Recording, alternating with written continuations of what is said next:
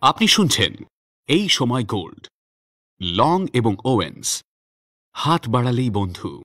লেখা সৌমিত দেব। পাঠ দেবার্য। একজন কালো চামড়ার মানুষ, আরেকজনের সোনালি চুল। চোখগুলো নীল। একজন অ্যালাবামার ভাগচাষী ঘরে ছেলে। আরেকজন নাৎসি জার্মানির নাগরিক। দুজনই অ্যাথলিট। একে অন্যের প্রতিদ্বন্দ্বী। অথচ সেই ময়দানেই গড়ে উঠল এক অদ্ভুত বন্ধুত্ব।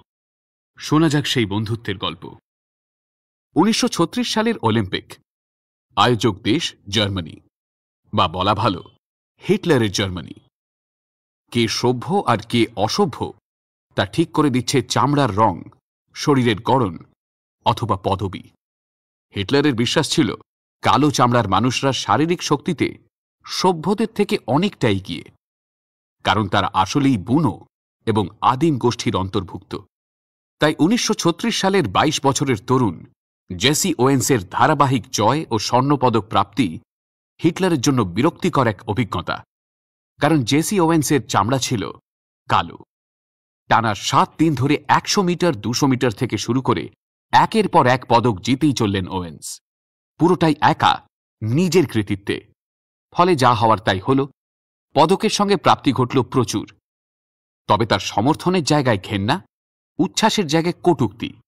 এমনকি রিলে রেসের সময় ইউএসএ টিম থেকে বাদও পড়লেন দুজন ইহুদি ক্রীড়াবিদ, স্যাম স্টোলার আর মার্টি গ্লেকম্যান তারপরেও চারশো মিটার রিলে রেসে একইভাবে চতুর্থ স্বর্ণপদকটিও পকেটে পড়লেন ওয়েন্স। যদিও ওয়েন্সের আসল প্রাপ্তিটা ঘটেছিল চৌঠা অগস্ট এক নতুন বন্ধু পেয়েছিলেন ওয়েন্স সেই দিন, যার নাম লাজ লং।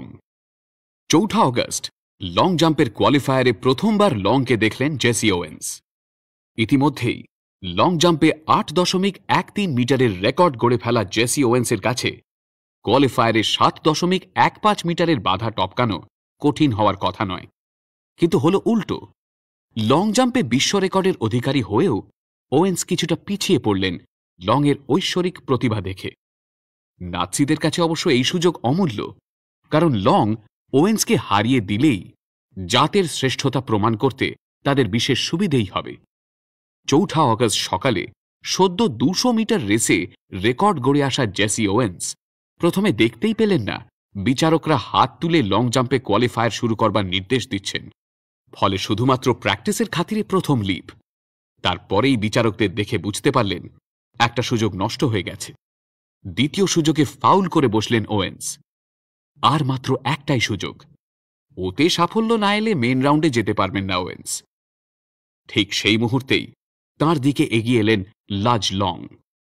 নিজের পরিচয় দিলেন এবং কথাবার্তা শুরু করলেন ইংরেজিতে। লাজ লংকে ওয়েন্স জিজ্ঞাসা করেছিলেন, খুব ভালো লাগল আলাপ হয়ে, কেমন আছেন? এবং উত্তরে লং বলেছিলেন, আমি ভালো আছি, কিন্তু আপনার কি হয়েছে?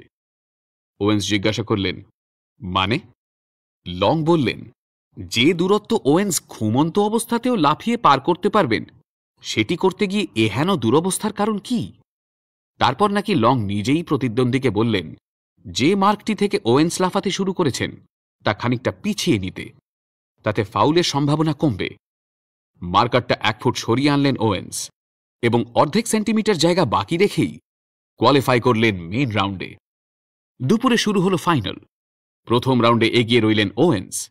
দ্বিতীয় রাউন্ডে গোটা স্টেডিয়ামের সমর্থন আর গর্জনকে সঙ্গী করে ওয়েন্সকে ধরে ফেললেন লং।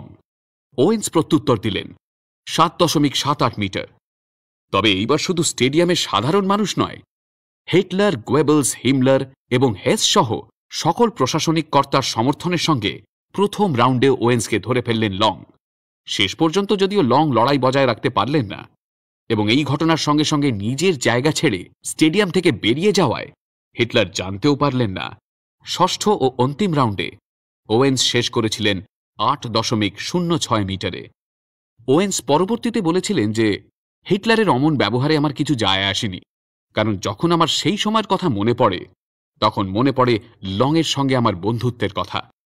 আমার সবচাইতে বড় প্রতিদ্বন্দ্বী হওয়া সত্ত্বেও আমাকেই কোয়ালিফায়ারে সাহায্য করার কথা মনে পড়ে। কোয়ালিফাই করেছিলাম বলেই না আমি মেন রাউন্ডে যেতে পারি?